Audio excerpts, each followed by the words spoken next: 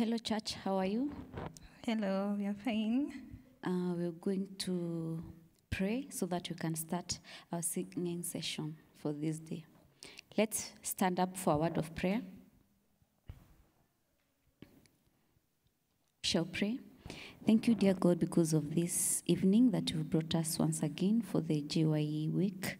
I pray that may you extend our brothers and sisters' feet to our coming so that we can be able to continue together. May you be with us even as we start this singing session. May you accept our worship, O dear Lord. Be even with our speaker of the day and let everything that we're going to do be for honor and glory of your holy name. In Jesus' name I do pray. Amen. So we will start by singing hymn number 184 Jesus Paid It All. 184. I hear the Savior say, Thy strength indeed is small. Child of weakness, watch and pray. Find in me thine all in all. Jesus paid it all. All to him I owe. Sin had left a crimson stain. He washed it white as snow. Lord, now indeed I find thy power and thine alone can change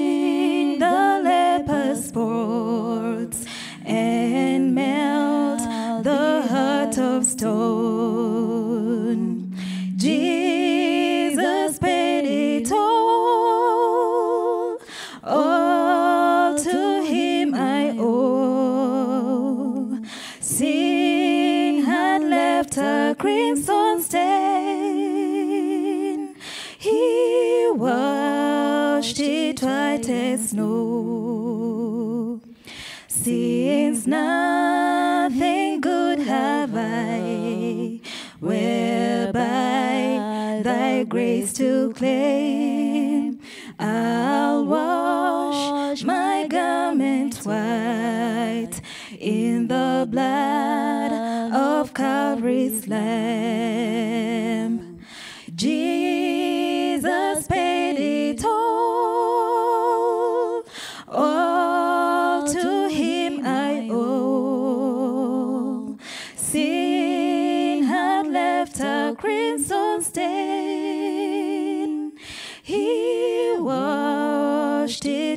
White snow.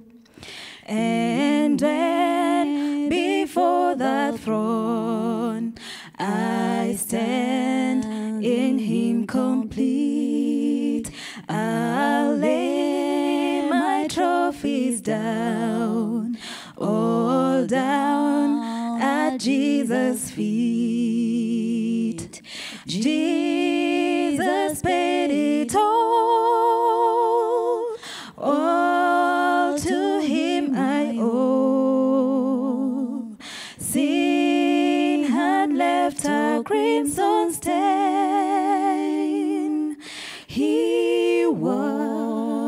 it white snow. Amen. And our next hymn is hymn number 287. Softly and tenderly, Jesus is calling. 287.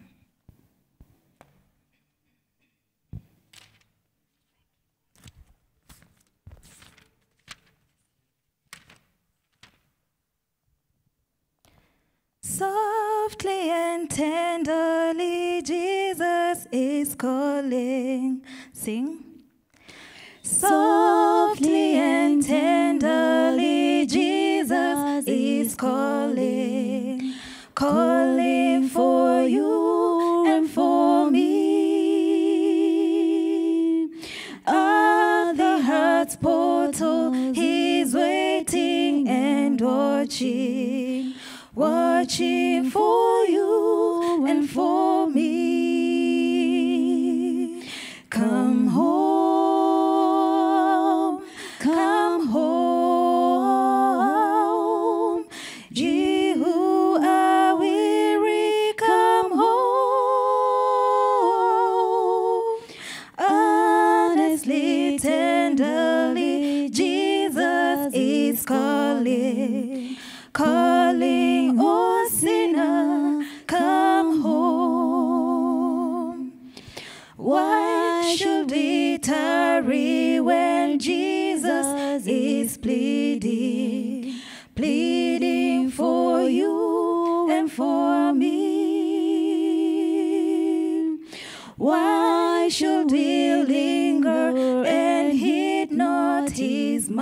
mercies?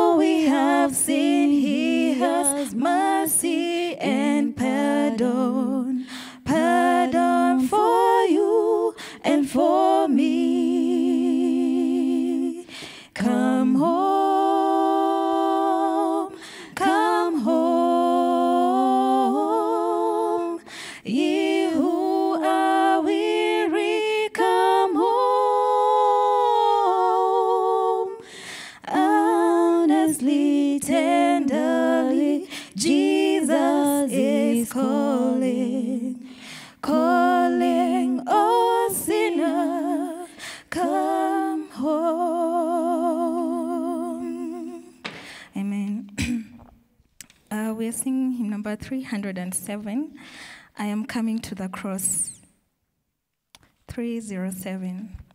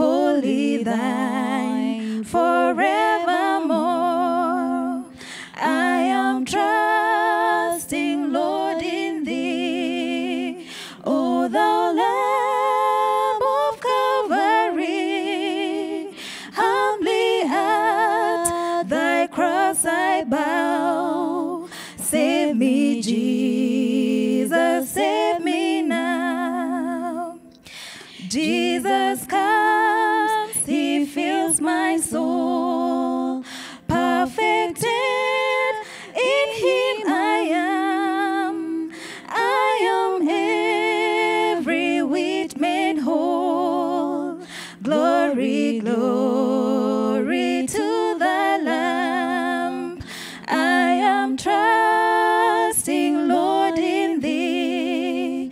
O thou Lamb of Calvary, humbly at thy cross I bow. Save me, Jesus, save me now. Amen. We plead to him that he may save us so that one day we may enjoy sitting with him in heaven. Thank you.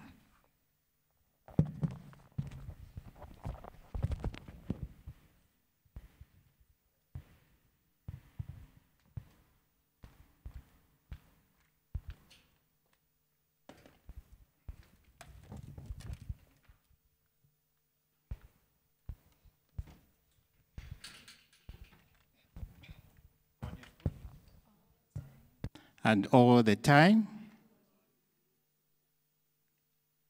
I couldn't hear that. Let's do it again. God is good. And all the time. Oh, thank you so much. Um, shall we all stand? Let us stand. Shall we pray? Our God and Father who art in heaven, we thank you for bringing us this evening. Father, as we continue with the week of prayer, we pray that you send the Holy Spirit to be amongst us, and that, Lord, you speak to the speaker, that everything that he's going to say will come from above. We pray all this in Jesus' name. Amen. I'd like to welcome all of you who have come today in time, and we would also like to welcome our online viewers.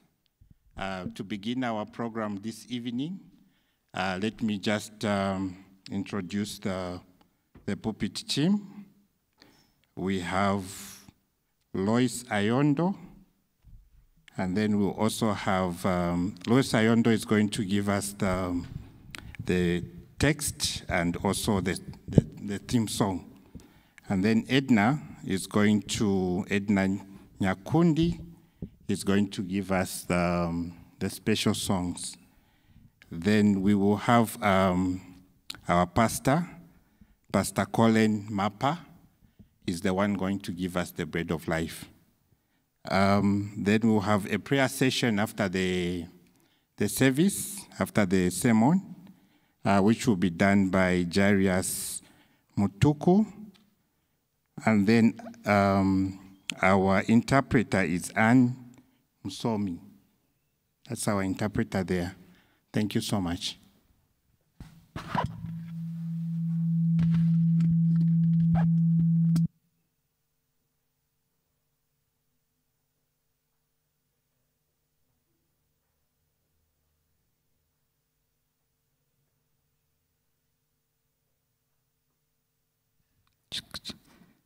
Good evening. Good evening once more. Um, we'll read our scripture reading. Our key text comes from the book of Deuteronomy, chapter 34, from verse 1 to 10. I'll be reading from King James Version. It says, And Moses went up from the plains of Moab and to the mountain of Naboth to the top of Pisgah, that is over against Jericho. And the Lord showed him all the land of Gilead unto Dan, and all Naphtali and the land of Ephraim and Manasseh, and all the land of Judah, unto the utmost sea, and the south, and the plain of the valley of Jericho, the city of palm trees, unto Zoar. And the Lord, and the Lord said unto him, This is the land which I swear unto Abraham, unto Isaac, and unto Jacob, saying, I will give it unto thy seed. I have caused thee to see it with thine eyes, but thou shalt not go over thither. So Moses, the servant of the Lord, died there in the land of Moab, according to the word of the Lord. And he buried him in the valley in the land of Moab, over against, against Beth Peor. But no man knoweth of his sepulchre unto this day. And Moses was 120 years old when he died. His eye was not dim, nor his natural force abated. And the children of Israel wept for Moses in the plains of Moab 30 days. So the days of weeping and mourning for Moses were ended. And Joshua the son of Nun was full of the spirit of wisdom, for Moses had laid his hands upon him. And the children of Israel hearkened unto him and did as the Lord commanded Moses. And, and there arose not a prophet since in Israel like unto Moses, whom the Lord knew face to face. Um, the preacher will expound more on that. I'll now call upon the choristers to take us through our theme song.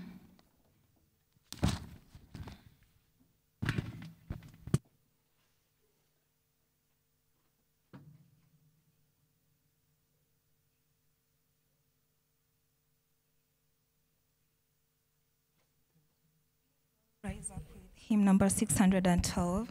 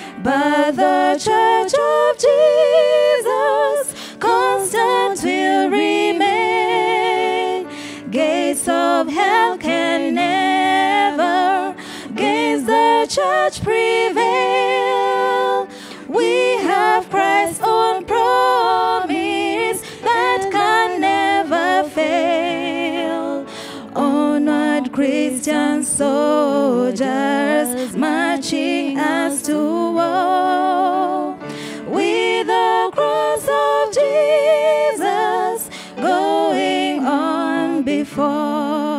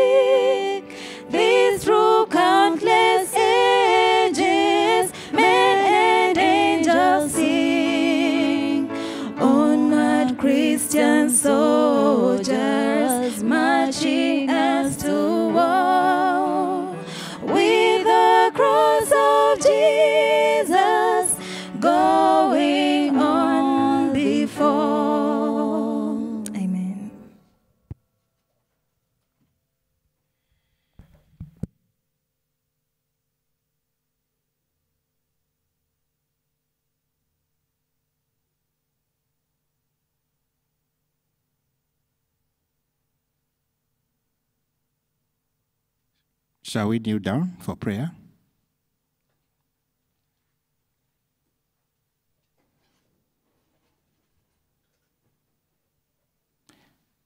Our God and Father who art in heaven, we thank you that you've brought us again this evening to listen to your word.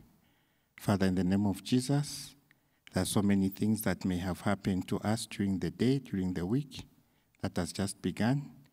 But we pray, Lord, that you forgive us our sins. Father, in the name of Jesus, as the preacher is going to come to pray, to preach with us and to talk to us, I want to pray that you be with him, be with his ministry, and be with his family. Father, in Jesus' name, I want to also pray for the people watching online that, Lord, you touch them because we pray in Jesus' name. Amen.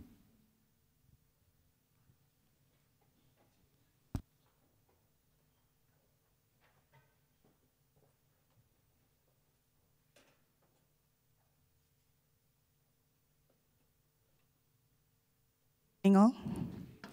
Um, I'd like to welcome Esther Nyabuto for a special item. Thereafter, our Pastor Collen will come in for the sermon. Thank you.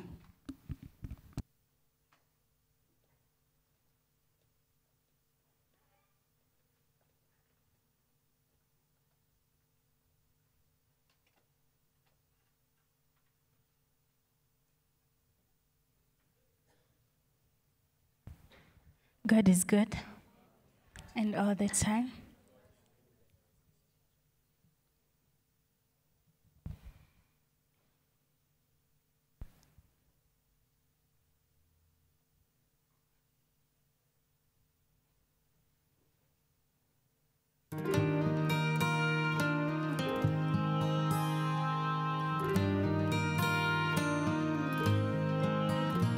My heart is so proud.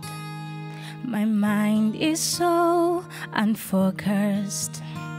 I see the things you do through me as great things I have done.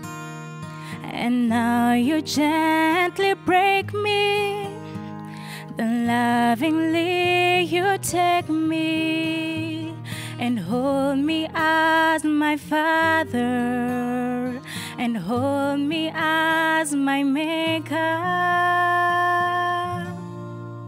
I ask you how many times will you pick me up when I keep on letting you down?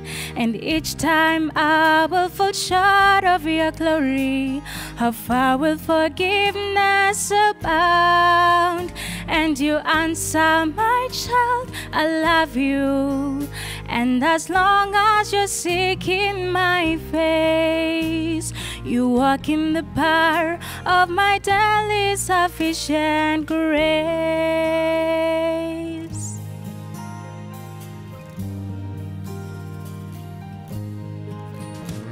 At times I may grow weak and feel a bit discouraged, knowing that someone somewhere could do a better job. For who am I to serve you?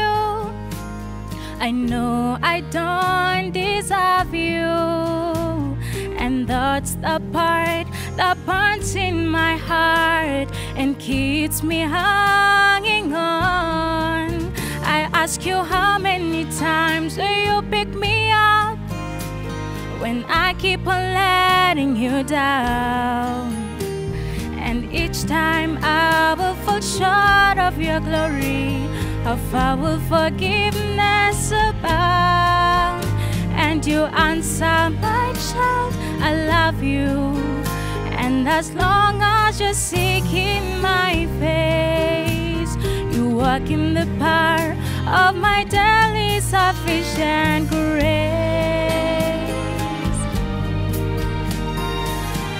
You are so patient with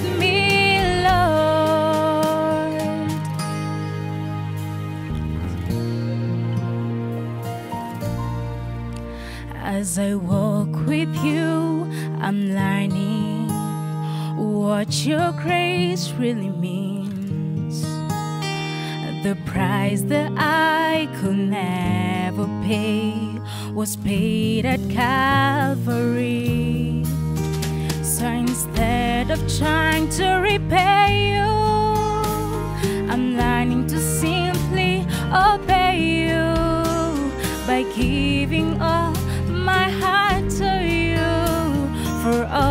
that you've given to me. I ask you how many times will you pick me up when I keep on letting you down? And each time I will fall short of your glory, how far will forgiveness abound? And you answer, my And as long as you're seeking my face, you walk in the path of my daily sufficient grace.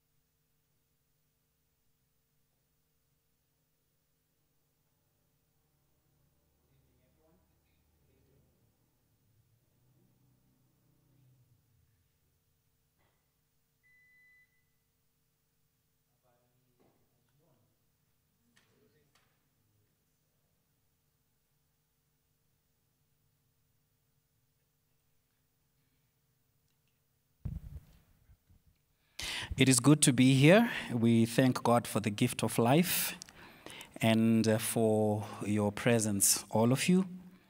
We hope that today the Lord is going to speak to us and that we may be refreshed and be revived in His word. Um, our text has been read, but you will allow me to read it again so that I can also have it in my head. We are reading from uh, Deuteronomy chapter 34, verses 1 through to 10.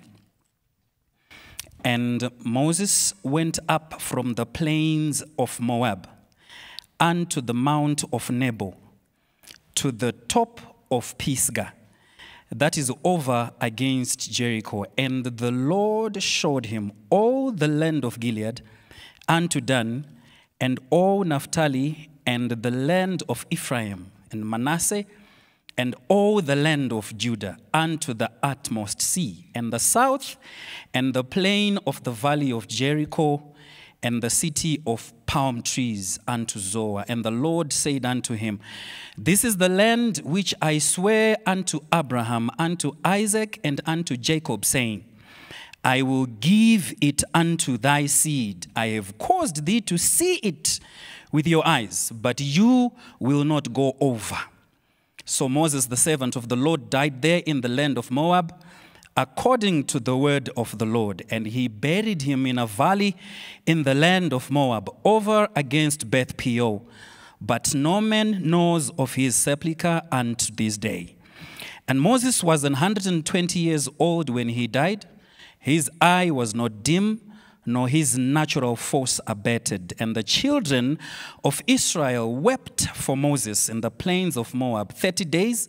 So the days of weeping and mourning for Moses were ended.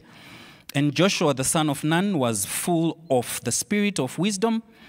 For, the, for Moses had laid his hands upon him, and the children of Israel hearkened unto him and did as the Lord commanded Moses. Verse number 10 And there arose not a prophet since in Israel like unto Moses, whom the Lord knew face to face. May God add a blessing to the reading of his word. Allow me to speak to you on the subject something better. Something better. Let's pray. Heavenly Father, we thank you for your word. And we thank you for the presence of the Holy Spirit, for without him, this can turn out to be a waste of time for your people. Pray all this in Jesus' name. Amen. So we just read from the book of uh, Deuteronomy. The book begins with a reflection on a past of which Moses was a part of. When you start from the very first verse of the very first chapter, it's a reflection of the past. And in this past, Moses was an active agent.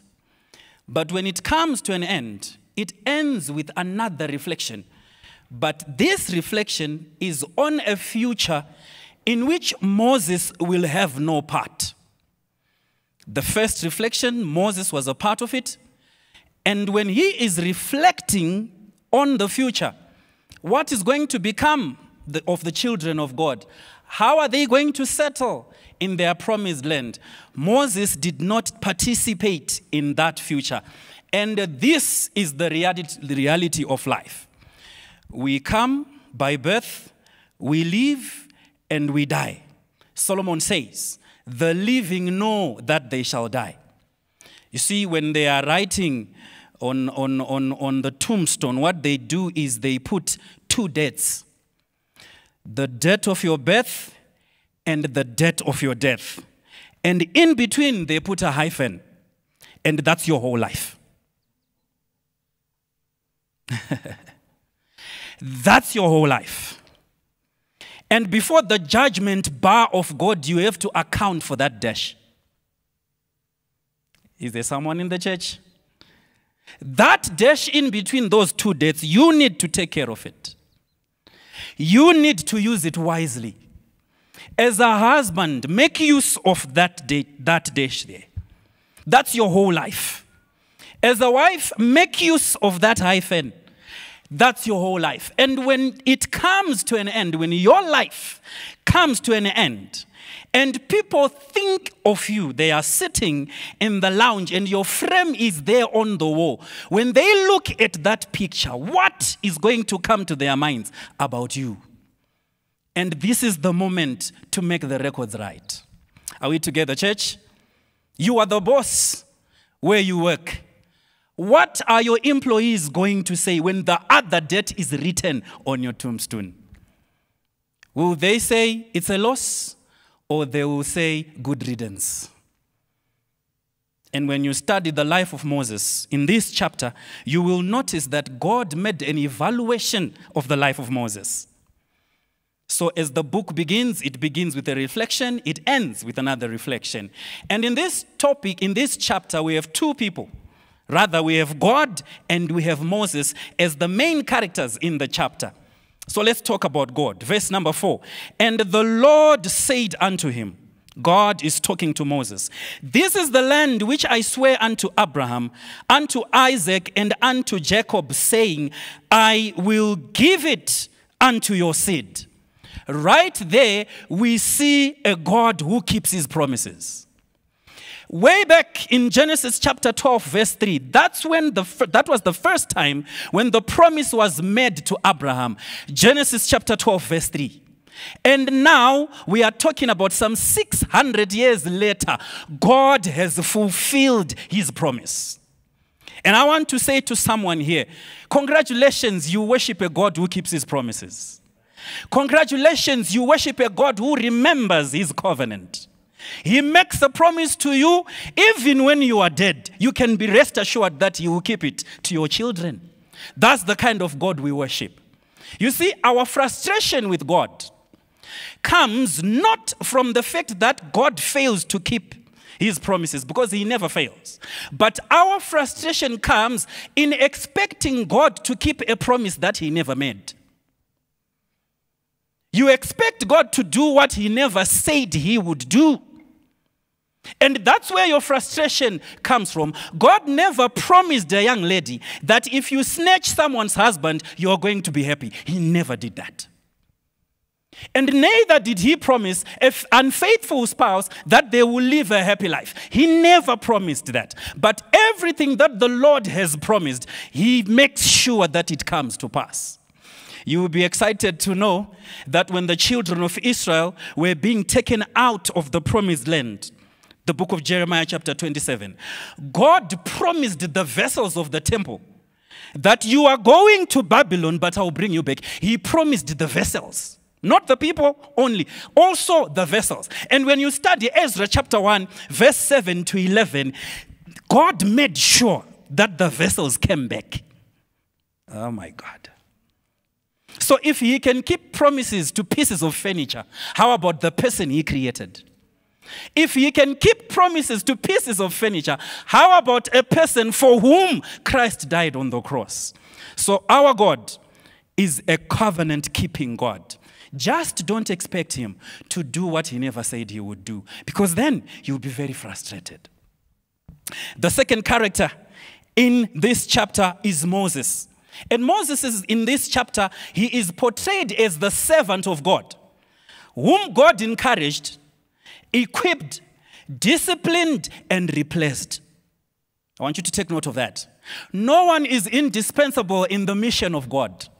God moves people around for his mission and for his glory. And here we find Moses being replaced by Joshua. But you need to also understand that at the outset, Moses was an imperfect vessel, resistant to God's call and on occasion hot headed and reckless in the performance of duty, and sometimes frustrated with the people that he was leading.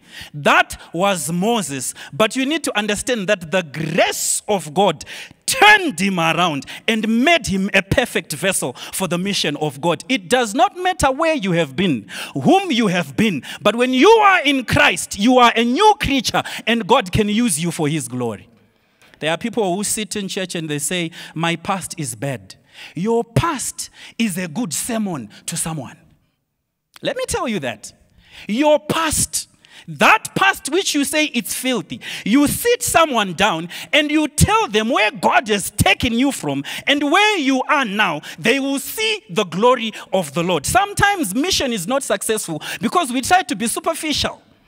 Tell people what the Lord has done to you. That's the biggest sermon you can ever preach. And so Moses is told in verse number four, You are not crossing over. We are going to our sermon title. Bear with me for a moment. You are not crossing over. You are not going. Now, how did we come to this? How come the Exodus soldier is no longer going or making it into the promised land? He is right at the border and he can see the land, but he is not getting over. How come? If you're going to understand the reason, you need to revisit Numbers chapter 20. What happens in Numbers chapter 20? People are in a desert called the desert of Zin.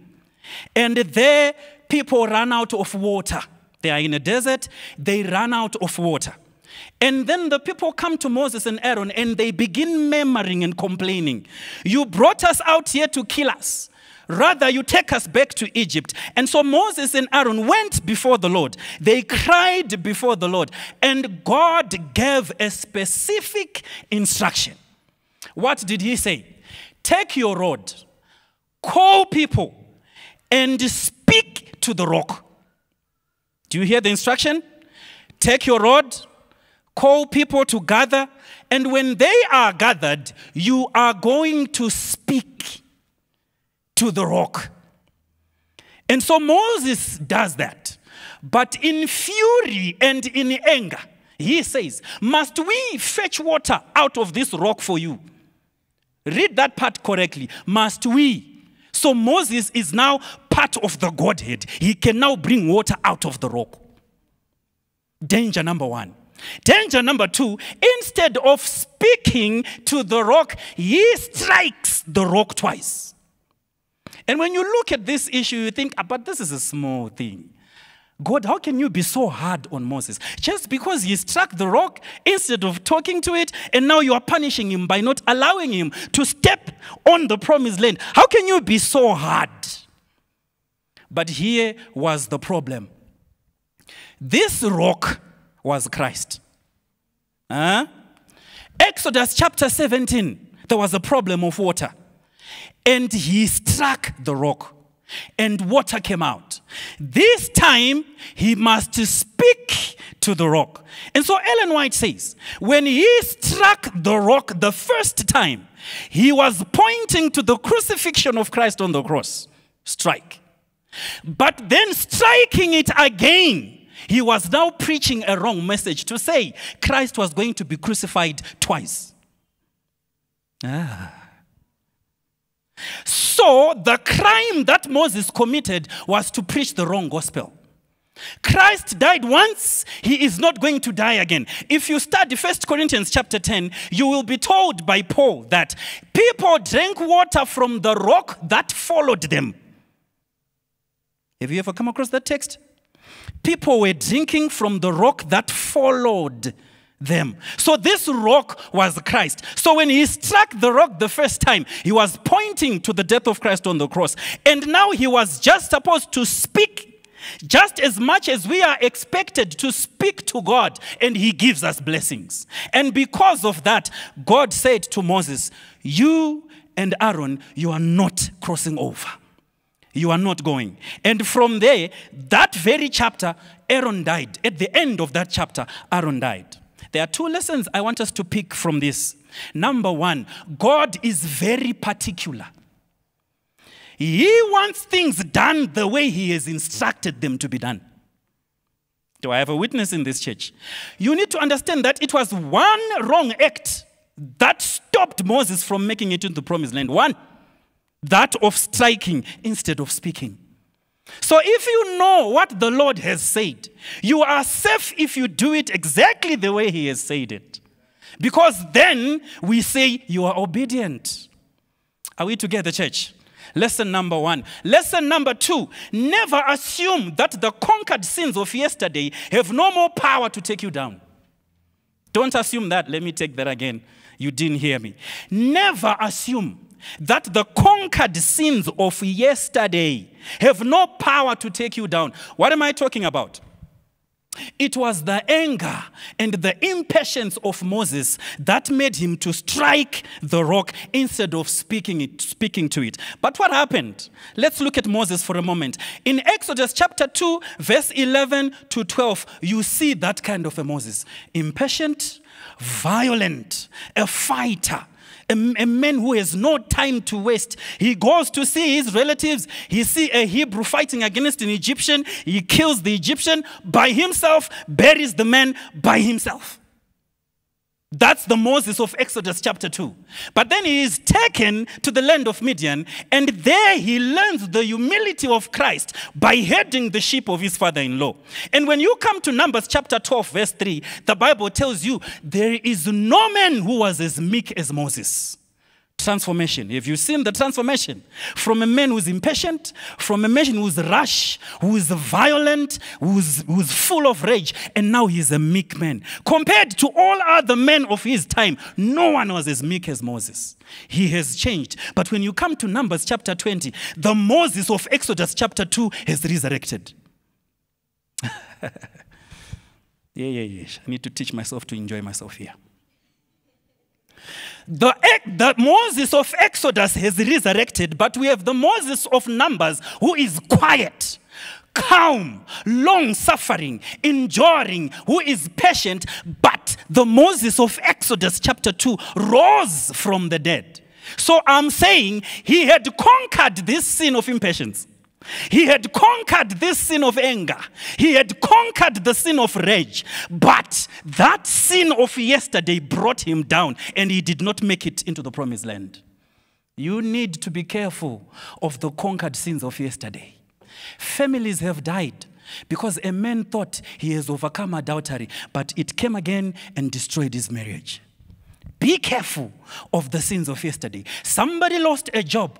They embezzled funds once, caught, forgiven, and they thought they have overcome. But just recently, the, the contract was terminated for the same sin that came back again. Be careful of the sins of yesterday, they are dangerous.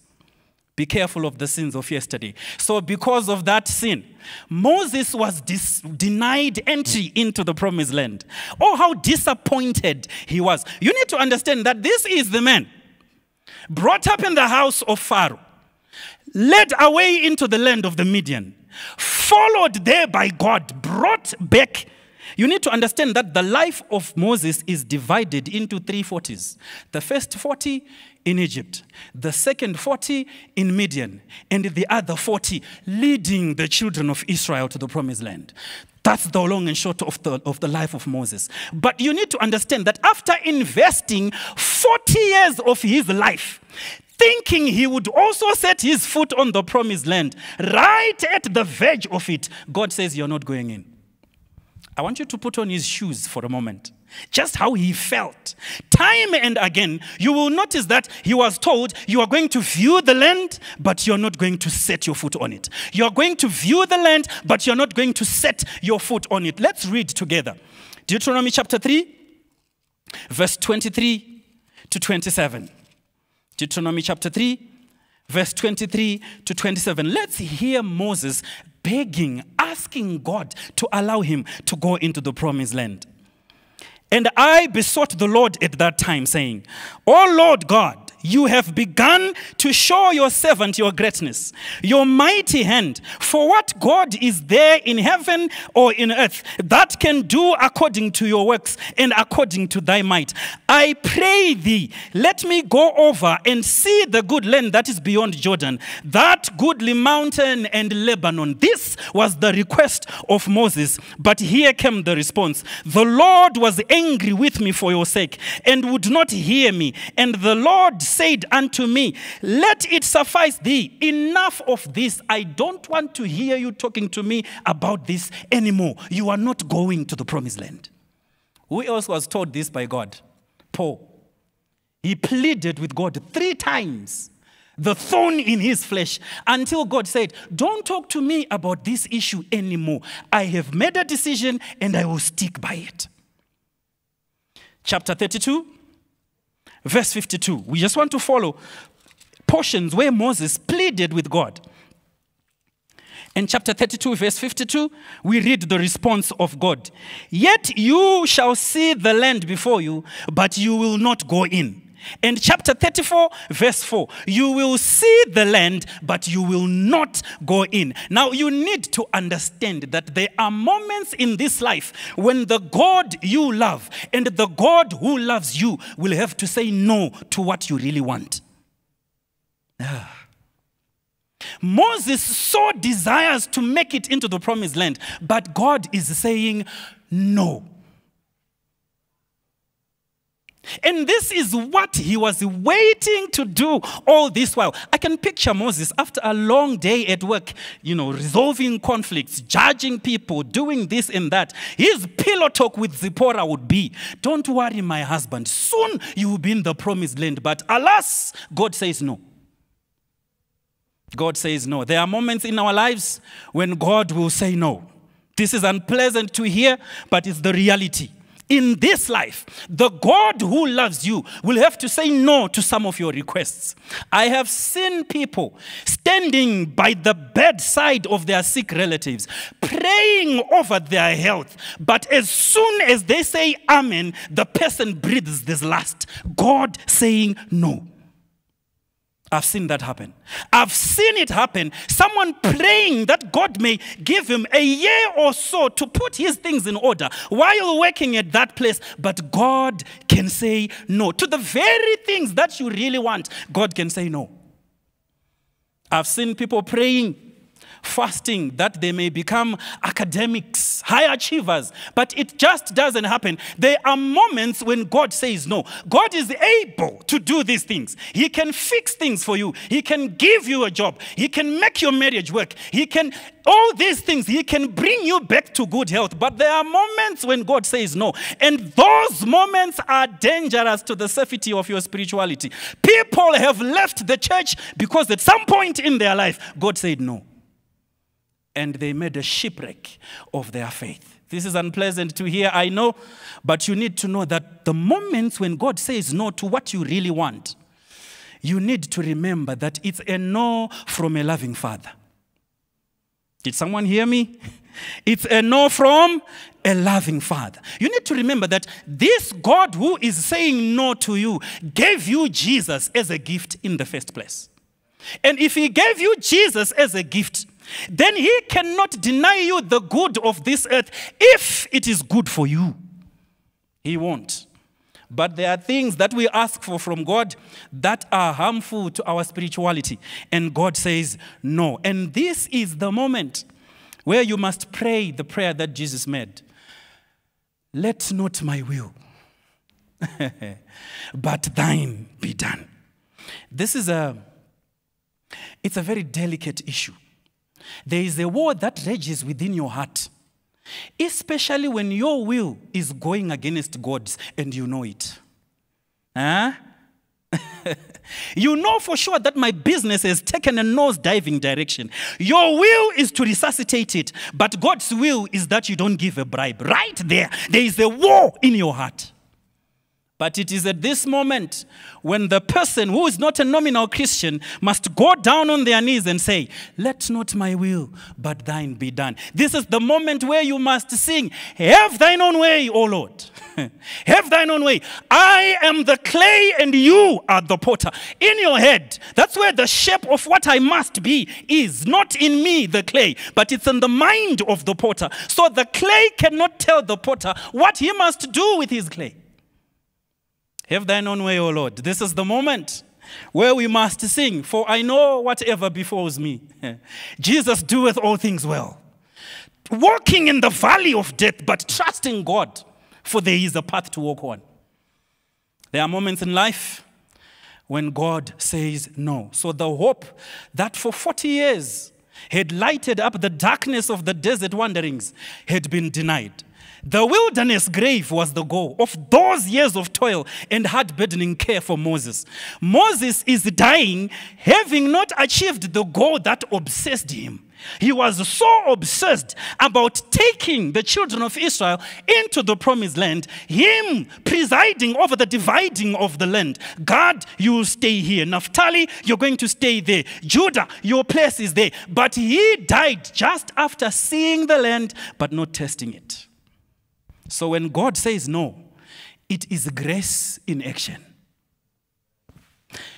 I said, when God says no, it's grace in action. You know, when this curtain is removed and Jesus is standing on your side and you are asking him, but why is it I was 30 and the young man who approached him, he had to be the one. God, I was 30. And then God will open the curtain and show you the pit that you were just about to fall in. You will say, God, you are wiser. You will thank God for the decisions that He made that you were not happy with. Trust God, and God will take care of you. And so we see Moses now. Verse number one tells us that he went up. He went up from the plains of Moab. He went up on the Moabite plateau. It was a range of mountains called Pisgah. And the highest point of that mountain was the one that was called Nebo, 2,600 feet above sea level. Some say 2,740 feet above sea level. And Ellen White says, He turned his back on the congregation. Having addressed them, having prepared them for the promised land, he turned his back and in silence and alone, he made the 2,600 feet to Mount Nebo. I'm about to get to the sermon title now. I need you to enjoy this with me. And so when he got there, what does the Bible say? And the Lord showed him, verse number one, the Lord showed him all the land of Gilead unto Dan, and all Naphtali, and the land of Ephraim, and Manasseh, and all the land of Judah, unto the utmost sea, and the south, and the plain, and the valley of Jericho, the city of palm trees, unto Zoar. Pause, reflect. The children of Israel have not yet crossed the Jordan River. But Moses has been showed the land of God. Ah. What is God doing? He took Moses from the present and he threw him into the future. And he said, I'm going to show you what you would have seen would you have been alive. Gad is good. And so he tells him, This is where Gad will be. You're going to be dead, but God is going to stay there. and Naphtali is going to stay there. And Ephraim, Manasseh, they are going to be there. So God gave him a glimpse of the future.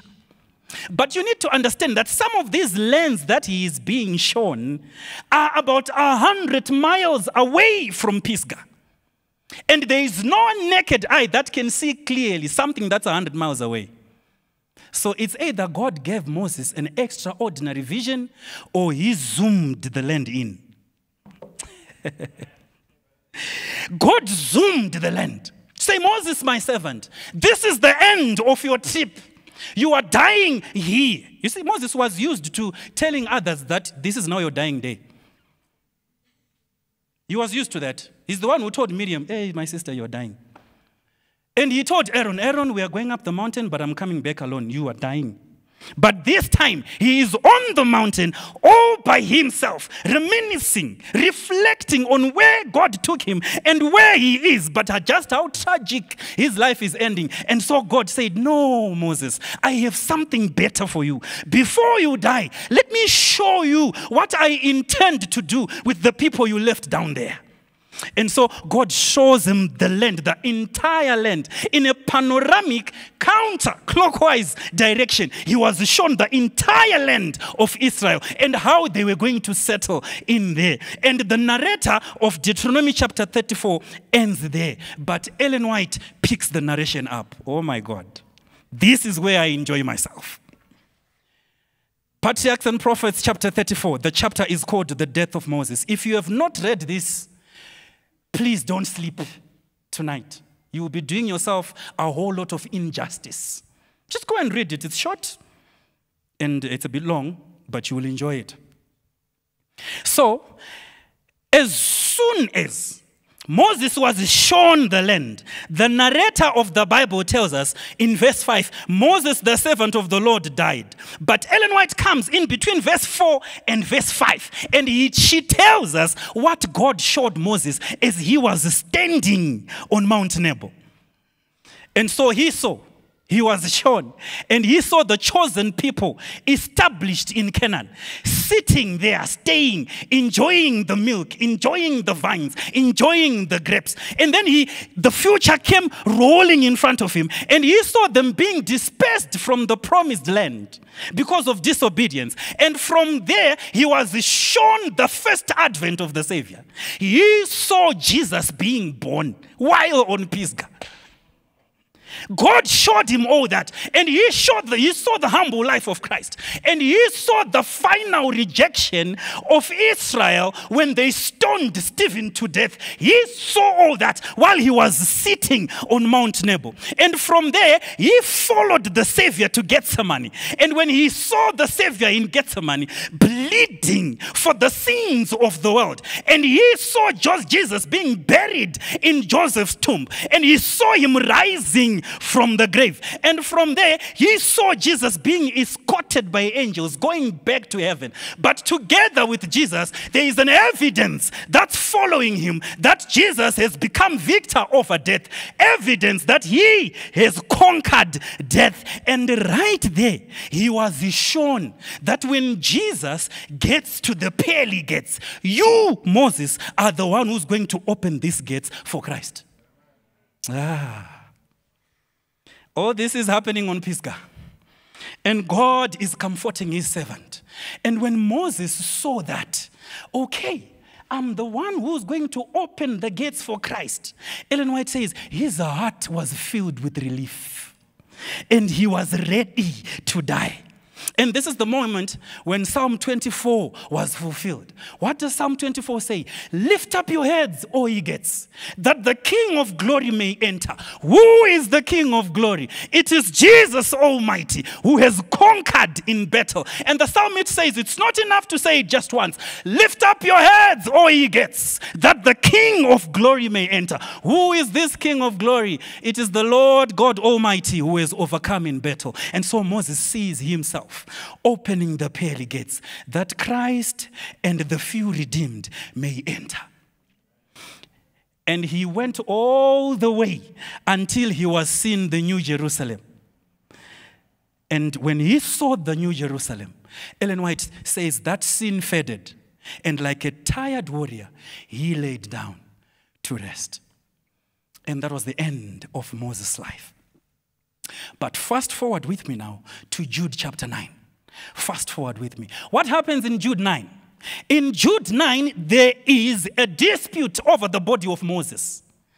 Jesus himself came down. It was Jesus and the angels who dug the grave of Moses and buried him on Mount Nebo. And it was him who came down to resurrect him. And right there on his body, there was a dispute. Why? The devil was claiming this man did not make it to the promised land because he had sinned against you. You cannot resurrect this man. But in not wanting to descend into the arguments, Jesus simply said, May the Lord rebuke you. And he called Moses back to life and he took him to heaven. Why did he do that? He was preparing him to receive Christ when he comes back to heaven from winning people on earth. Fast forward, Luke chapter 9. What happens in Luke chapter 9? Something better. What happens in Luke chapter 9? Come with me to the book of Luke chapter 9. Let's read that portion together. This is the Mount of Transfiguration. Verse 28 says, And it came to pass about an eight days after these sayings, Jesus took Peter, John, and James, and they went up into a mountain to pray. And as he prayed, the fashion of his countenance was altered, and his, his raiment was white and glistering. And behold, there talked with him two men. and one of them is Moses. I wish I had a witness in this church. Two men visit Jesus. Jesus is on earth, Moses is in heaven.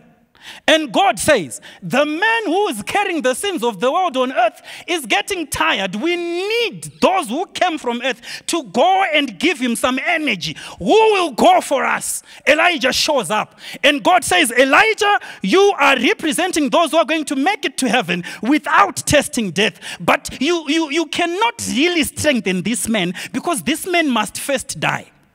So we need someone who went through the experience of death and tested resurrection. He is the one who can strengthen this man better. Who will go? Moses shows up, representing those who make it to heaven after having tested death. Now, I want you to see what's happening. I want to give you three things that were better. Number one, Moses was supposed to make it into the promised land on foot. Had he not died, in Deuteronomy chapter 34, he was supposed to make it into Canaan on, but this time around, he shows up from outer space. Ah. What's better, walking or flying, or whatever he did to come? Something better. Moses died on the mount, but he trusted God with his life. I don't know if he knew that God was preparing something better for him, but his disappointment, trusting God in his disappointed, made him to enjoy something better than what he would have enjoyed had he walked to Canaan on foot. Let me give you another one. The second thing that was better Moses was supposed to make it to the promised land in a body that dies, a body that faces corruption and clothes that would start decaying as soon as they got into the promised land. But watch him come this time. His body is radiant. What's better? A body that dies or a body that will not corrupt? God was simply preparing Moses for something better. Let's talk about this radiance for a moment. There is a time that Moses went up the mountain. And when he came down, only his face was shining. And he had to veil his face so that he could speak to the people. But this time around, it's not just the face that is radiant, it's the entire body. Something better. Oh, let's talk about the clothes. Maybe he was wearing something white when he died. No problem. But this time he's coming down. He's wearing this shiny white garment that's more white than the daylight. Something better. Let me give you last thing.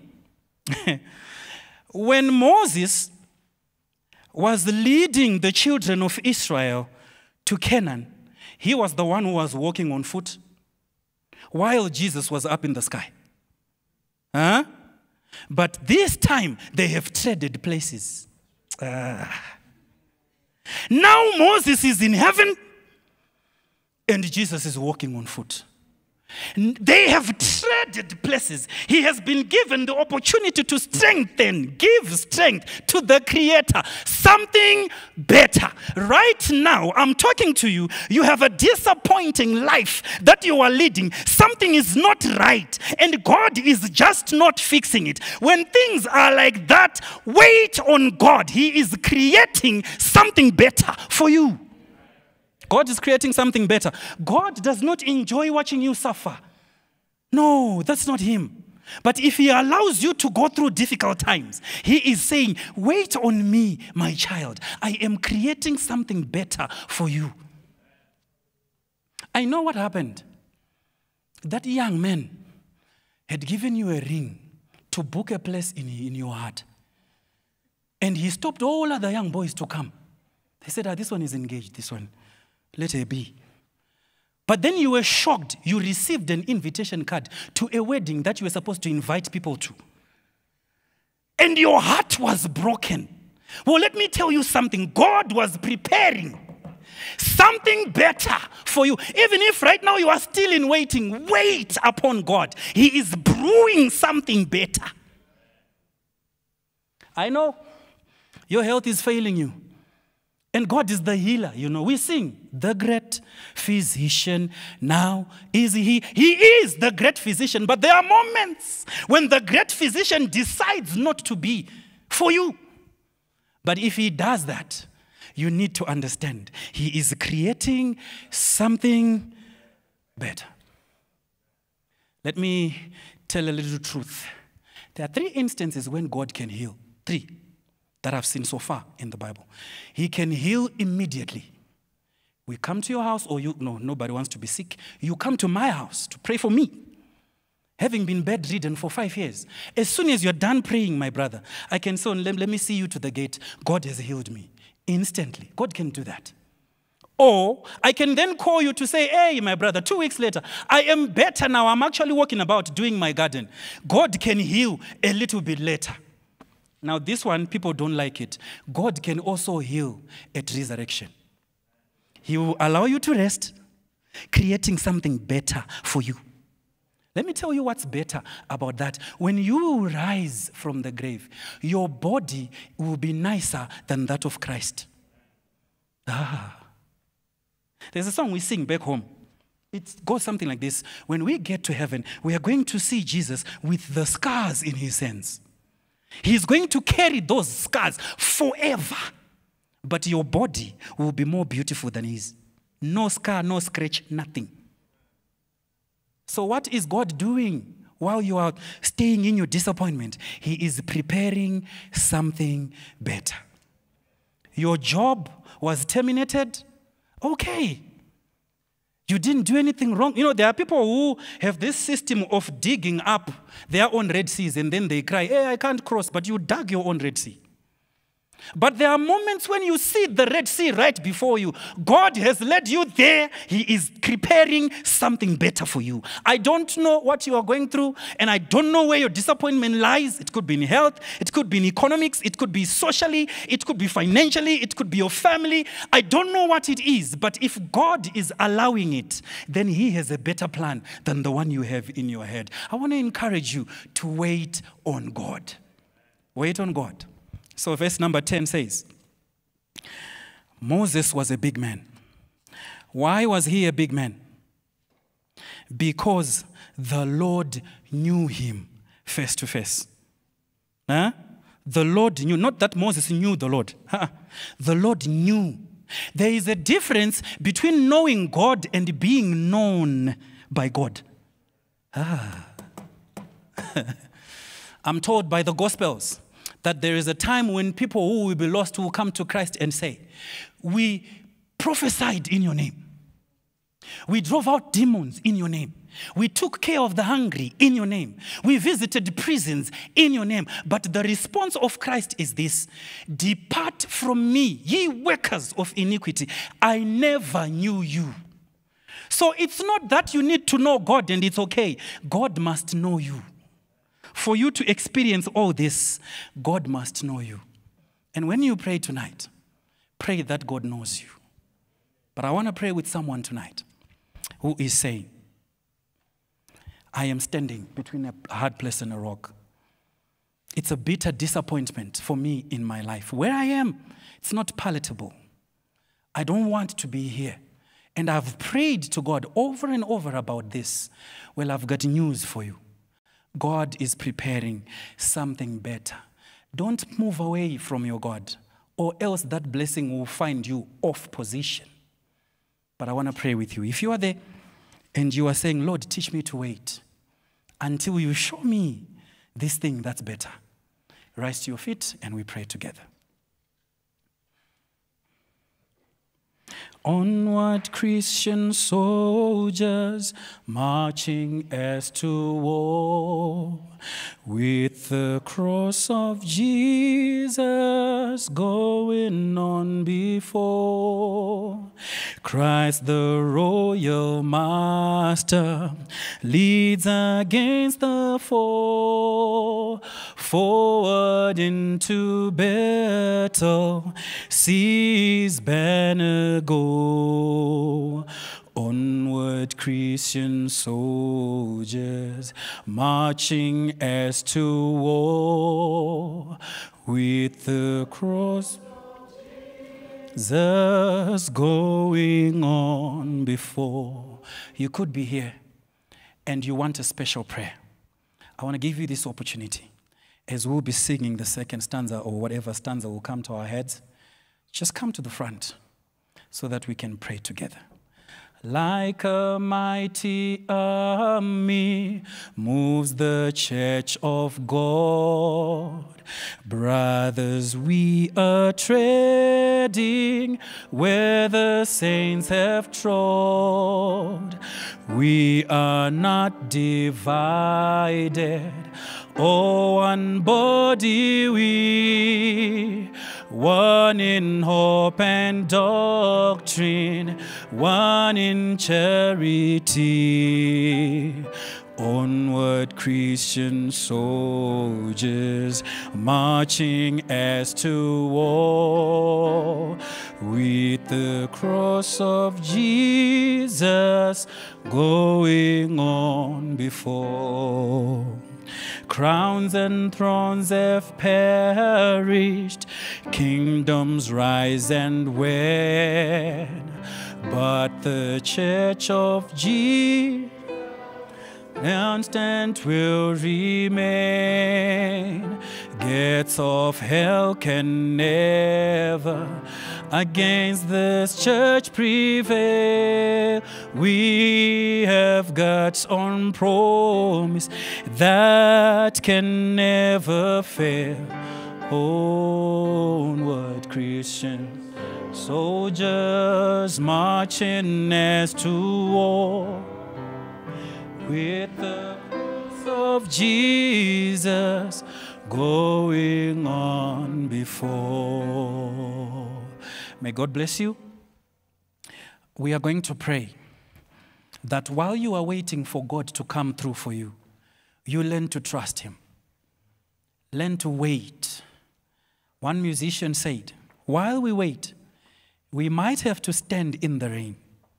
And while we wait, our friends may not be by our side. But while we're waiting for the promise to be fulfilled in our lives, we need to remember this God is never late. So praise Him while you wait. I'm going to pray um, right now. Heavenly Father, we come before your throne, thanking you for the life of Moses and for the revelation that you gave to him that can be our source of encouragement today. Things are not well, but you have given us this gem of truth that when we see you as if you're not acting on our issues, you are busy preparing something better. Oh Lord, how I pray for my brothers and my sisters and my parents in this church that you may give them the strength to wait. Waiting is never easy, but if we fix our eyes on you and keep this truth in our hearts that you are preparing something better, yes, we can praise you while we wait. We have come to the front our different age groups. Some are online, they could not come to the front, but Lord, you see their hearts. How I pray that you attend to their needs. Give them the gift of patience, the gift of endurance, forbearance, as we wait for you to hand over to us something better. I pray that you may give them a peace that surpasses all understanding a peace that only you can give, a peace that is not governed by outward circumstances. You don't have this, you don't have that, but a peace that comes through the presence of Christ in our hearts. And so while we wait, we pray that you come through for us with something better. This is our humble prayer in Jesus' name. Amen.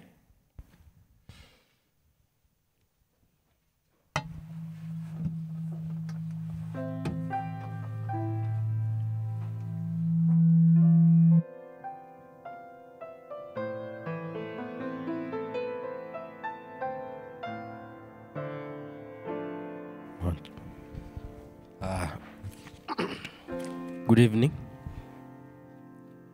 Good evening, church. Uh, it's time for congregational prayer.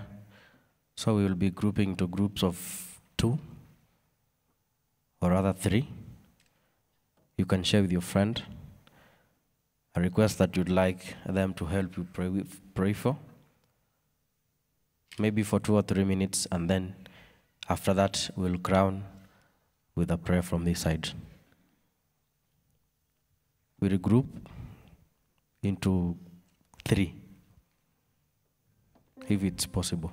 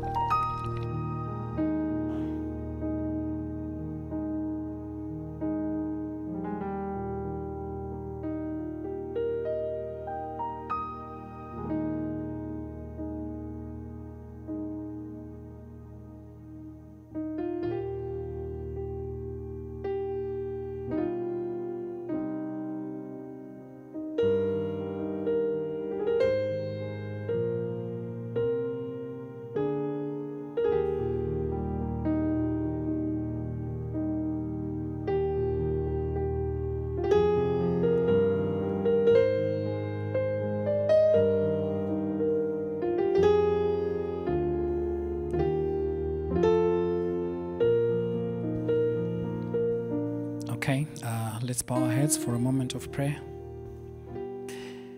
Heavenly Father, we come again before you. We know you never tire to listen to the prayers of your children. And we continue to bring our burdens and our cares before you, praying that you may attend to each and every issue that has been put on paper and has been thrown into this box.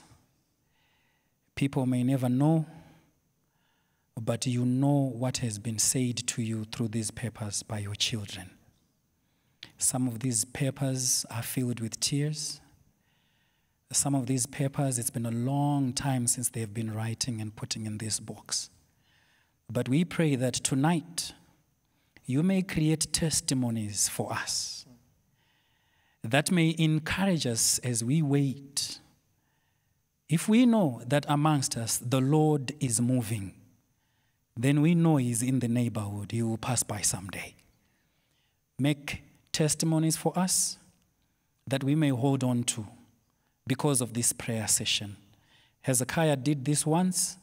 He brought a letter to the pulpit, and that very night, you sent a destroying angels, and he dealt with the enemies of your children. How I pray that you may do the same for your people, that our faith in you may continue to grow. You are a loving God. You care for us. You are always there for us. You will always provide for us. If you gave us Jesus on the cross, there is no way you can deny us the good things of this earth if they are good for us. Pray that you may help us and grant us these requests. For all this we have prayed in Jesus' name. Amen.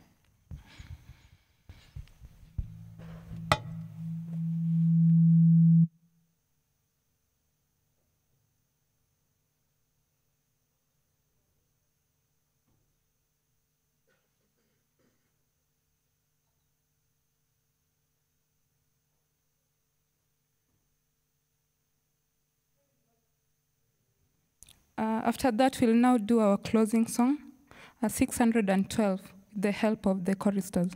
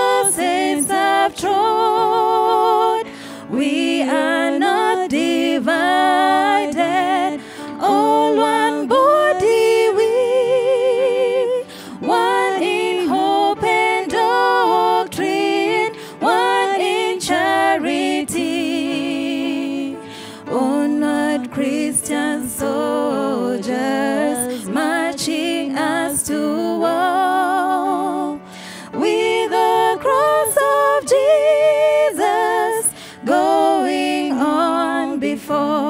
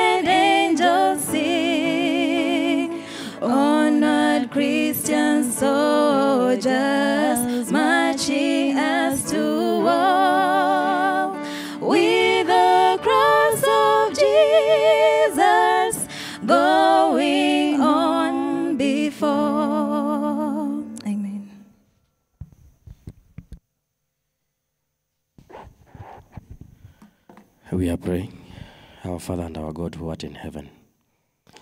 Thank you for guiding us. Thank you for speaking, for speaking to us in a special way. Lord, even as we will be waiting, we have the hope that we'll be, we will be waiting for something better. Be with us, Lord, even as we'll be dispersing from this place. Keep us safe and sound until we meet again tomorrow. For it is in the mighty name of our, of our Lord and Savior Jesus Christ we are praying. May the grace and the love of God and the fellowship of the Holy Spirit be with us now and forevermore. Amen.